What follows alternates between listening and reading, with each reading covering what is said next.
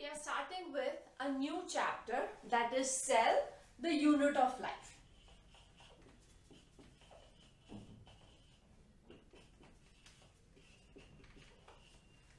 We all know that cell is the structural and functional unit of life. Let us talk about the discovery first and then we'll come to uh, the shape, sizes and types of cells. Cell was discovered by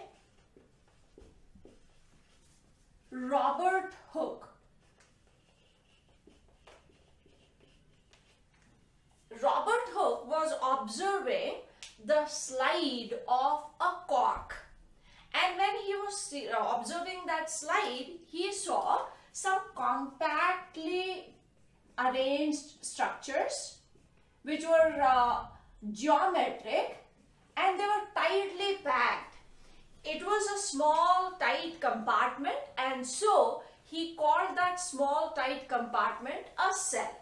So this cell which was observed was in cork slide. And this cork was of plant that is Quercus. The plant's name is Quercus and when he was observing this uh, slide or a section of cork, this is uh, the type of structure which he observed and any tight compartment is termed as cell and that is why he called it a cell. Now we know that cork is a dead tissue so that the wall or the outer structure we, which he saw was actually the cell wall in which suberin was deposited and there was nothing inside. So basically, he saw dead cells. So whenever we say who discovered cell, cell we say Robert Hooke discovered cell. But that cell was a dead cell. So the question, if the question says who discovered cell? We have to write the name of Robert Hooke itself because he was the one who saw the cell for the first time. But the living cell was observed by another scientist that is Anton von Leeuwenhoek. So Anton von Leeuwenhoek was the other scientist who discovered or observed living cells for the first time. So while answering the question, we have to be specific, we have to be very clear whether the question is related to only cell. If it is only cell, the answer is going to be Robert Hooke. But if it is specific that who observed the living cell for the first time, our answer is going to be Anton von Leeuwenhoek. Later on, another scientist, Robert Brown,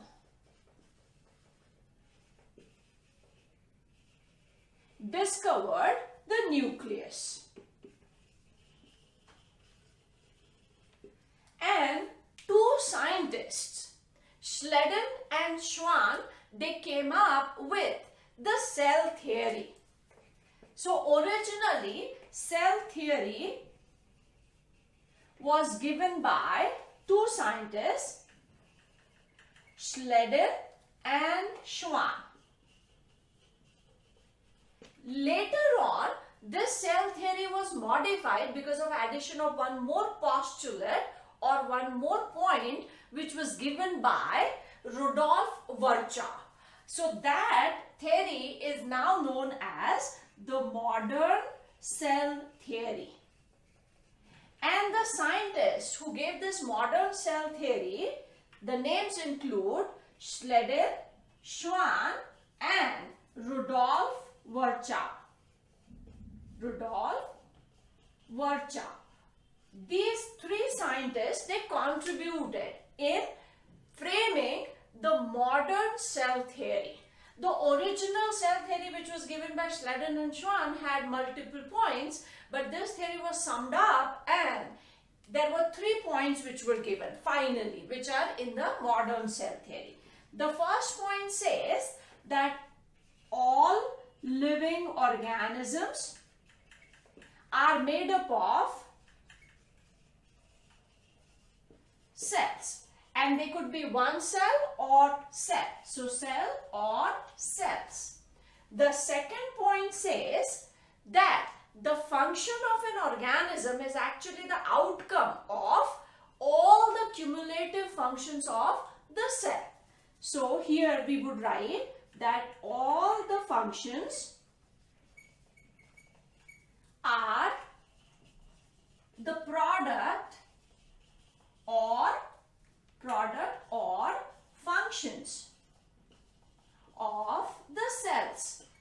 That means if a cell is performing respiration, that means oh, the body is performing respiration. Or let us put the other way. If body needs nourishment, actually it is because the cell needs the nourishment.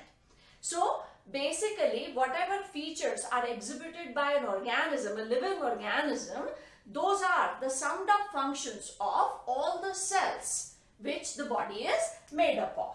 And third point is that all cells arise from pre-existing cells.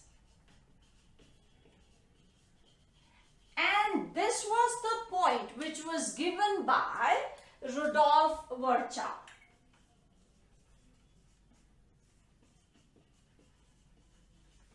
So earlier when Schleiden, and Schwann put forth the theory, this third point was not there.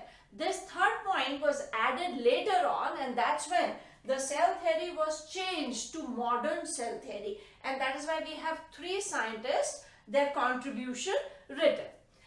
When we talk of Rudolf Virchow, he said that all cells arise from pre-existing cells and there was a phrase which was given by him in his own language and that phrase was omnis cellula a cellula which means that all the cells they arise from pre-existing cells and now this becomes the modern cell theory so these are few scientists who have contributed in the initial discoveries and the cell theory part. So original cell theory had different points. Modern cell theory has the point which was given by Rudolf Virchow also.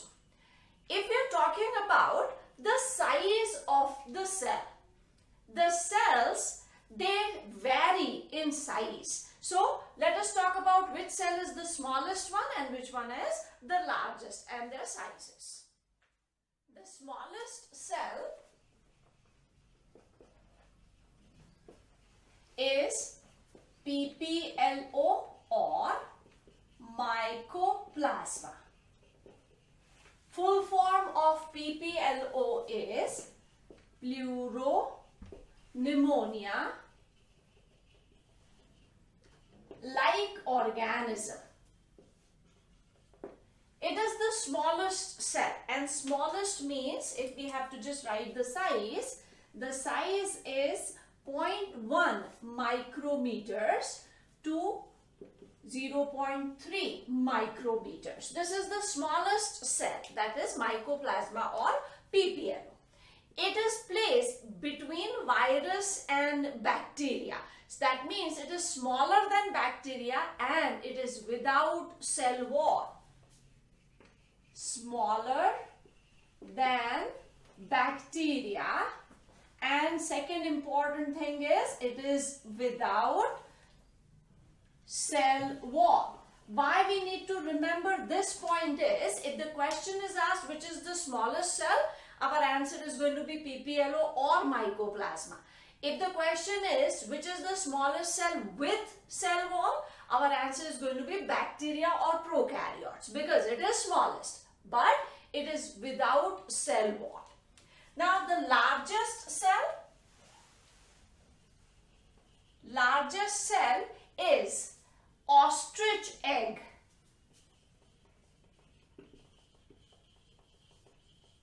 Most of the times the questions which are asked are on the smallest cell because that's this is like a very unique thing. The size of the cell is decided or regulated by three important factors. Factors for size of the cell. What would decide that the cell should get bigger or should remain smaller? The first is nucleocytoplasmic ratio. What does this mean? There is a nucleus inside the cell and this nucleus is controlling all the activities of the cell. So if the nucleus remains smaller and only the cytoplasmic content increases, then that tiny nucleus will not be able to take care of the entire big cytoplasmic content. And it is not only the content, it is all the organelles which are there in the cytoplasm. So the nucleus should be capable enough to take care of the cell completely. The second factor is the surface area to volume ratio. We will discuss this in detail and the third point is the rate of metabolism which a cell has to exhibit. So rate of metabolism. These are the three important factors which decide the cell size of a cell. We said we'll be talking about this. To understand this, let us take an example. Say this is a cell which is a cubical cell and all sides are say 1 centimeter. All sides. This is also 1 centimeter so height, width, breadth, everything is 1 centimeter. If we have to calculate the area, suppose in this first situation, the area, how do we measure area? Is length into breadth. And there are six sides of a cube. This side, second, third and the fourth and top and bottom. That means we will calculate it as length into breadth into 6 sides. So if we put this value here, the area is going to be 1 centimeter by 1 centimeter by 6 sides. So 6. So this would give us 6 square centimeters. And if we calculate the volume, then volume is length into breadth into height. So here keeping this value, it's going to be 1 centimeter into 1 centimeter into 1 centimeter. So this is going to give us 1 cubic centimeters. So if we find out the ratio of area to volume, it is coming to 6 is to 1. We will double the size. Suppose we increase the size. Here it was 1 centimeter, we make it 2 centimeters now. So this is situation 1. Let us take situation 2 where the size of having all the sides 2 centimeters. So in that case, area would be again same length into breadth into 6 sides. So here it's going to be 2 centimeters by 2 centimeters by 6 sides. So this will give us 24 square centimeters or centimeters square. How are we going to calculate the volume now? Value is 2 centimeters per side. So it is going to be length into breadth into height that is 2 into 2 into 2.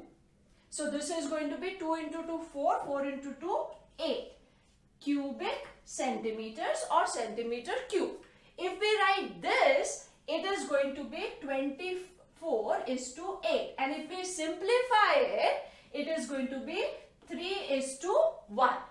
That means area to volume ratio goes on decreasing as the size of the cell increases. So if we have to maintain that ratio higher, the size of the cell should remain small and that is why the cells which are found in living organisms, they are smaller in size so that they are more efficient.